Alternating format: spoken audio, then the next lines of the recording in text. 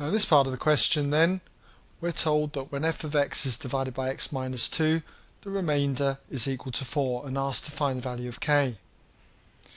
So how do we do this? Well, what you've got to remember is what is called the remainder theorem.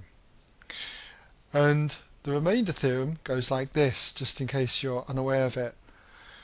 That if f of x is a polynomial, a polynomial is something like this, where if you expanded this, it goes down or up in ascending powers of x.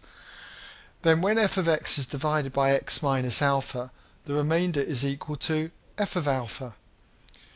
Now you can see that this x minus alpha, when we divide by x minus alpha, can you see that alpha is the 2? We've got our minus, that's that minus there, but alpha is 2. So we get the remainder by doing f of 2.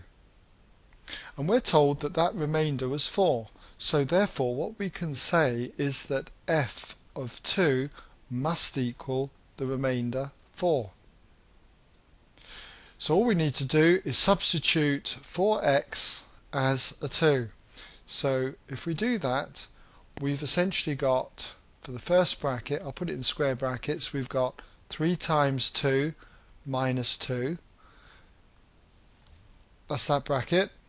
Multiplied by the next bracket x is 2 so we've got 2 minus k. Then we've got the minus 8 and that should equal the 4 down here. So we've got f of 2 equals 4 just clean this up. What do we got here? We've got 6 minus 2 which is 4 so we've got 4 bracket 2 minus k minus the 8 equals 4 I'm going to add 8 to both sides at this stage, so we've got equals 4 add 8, which is 12.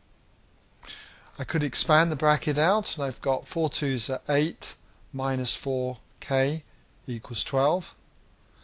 And then if I add 4k to both sides and subtract 12 from both sides, I've got 8 take 12, which is minus 4, equals plus 4k. Divide both sides by 4, and you've got that k equals minus 4 divided by 4 and that results in k equaling minus 1. There you go. That's the value of k and that brings us to the end of this part of the question.